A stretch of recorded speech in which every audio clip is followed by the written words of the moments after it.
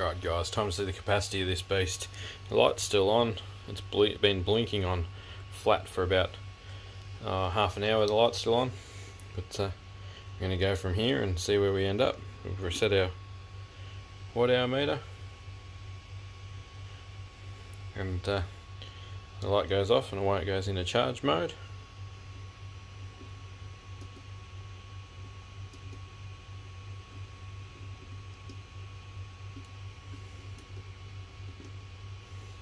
And we are charging at 9 volts point 1.7 watts. 1.7 amps 15 odd watts of charge speed. So. There's our watt hours there's our milliamp hours. I'll come back and let you know. It's also timing our uh, charge session here so We'll wait until it's fully charged and uh, then we'll know what we've got. Took a lot to discharge this. We uh, First thing we did was um, jump start the ute and the truck and then we also jump started the truck again for a TikTok video and then pumped up a normal 19 inch car tyre and then pumped up 150 psi into a portable fire extinguisher so you'll see all of them in the main review but we're to charge this beast up and see where we end up. Okay, so we, as we can see, we've got four bars of green solid on, but we only got 50 watt hours. Yeah, three, three traces behind, so 50 watts and 5,400 milliamp hours.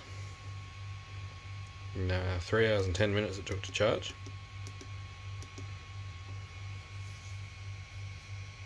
Mm. That's a bit shy of the 74 watts. Before I release this video, I'm going to do this test again just to make sure that it's accurate because uh, I don't want to claim 74 watt hours and like I have uh, previously in the video and stated that's what the rated capacity is in case it's actually not. So we're going to do this again and uh, see what we come out with next time. So let's unplug it and uh, start uh, discharging it again until we get a uh, another test result. So yeah, that's what we're going to do. Alright, sorry about the 3D printer noise. We are flashing on flat again and when we turn the light on it comes on for a minute and then goes out on a fault code. So we actually should be flat now. Um, yeah, I don't think we're actually flat the first time because um, everything's still working pretty well. So we're gonna we'll reset the meter.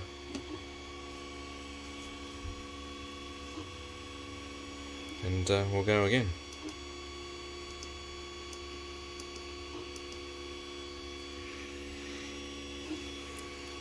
We'll see what we end up with this afternoon. So I might not have been super fair on it for its first discharge either. But uh, yeah, we'll see what happens. Okay, we're back fully charged again we have done 6.63 watt hours. That was in a total of 4 hours of charge time which works out to 6.8 amp hour at the 9 volt.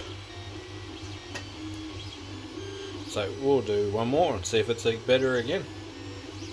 Because uh, that's uh, that's definitely closer to 74, but not quite there yet. We'll just hope that it's kind of the cells breaking in. We'll uh, do one more.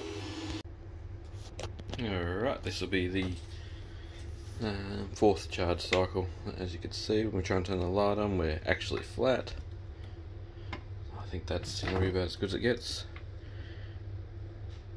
Reset our meter. Nope, that's where you reset the meter.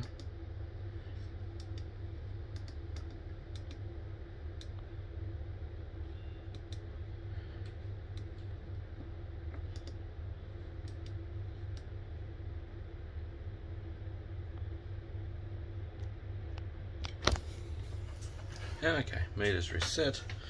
USB-C. Show you again, it's dead flat. Get that USB-C cable in there.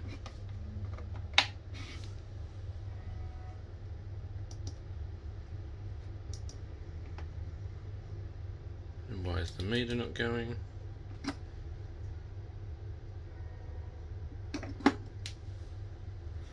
Now we should be good.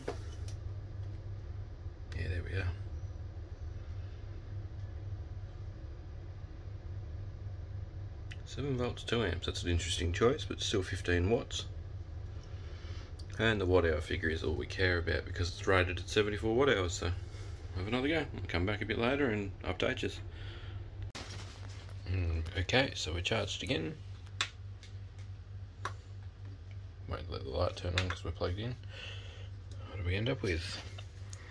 66 watt hours. So that's a little bit shy of the 74 it's rated for. Maybe it's protecting itself, but uh, I'm not 100% sure on that. We're just going to use this for a couple of weeks and uh, I'll revisit this in a future video. But uh, yeah, a little bit shy on the watt hours as compared to its 74 watt hour rating.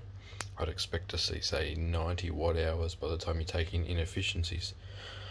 Anyway, that's well worth a yeah, test and check.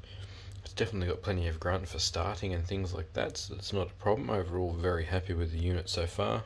We will uh, test that in a few weeks' time and see if the capacity comes up. Sometimes that happens with lithium cells. So, uh, yeah, let's let's hope that's the case. But uh, at least we got some baselines, so in three, six months' time, whatever, we can see if there's any degradation as well. So, thanks for watching. I'll update you as uh, I do more things with this beast and uh, catch you in the next video.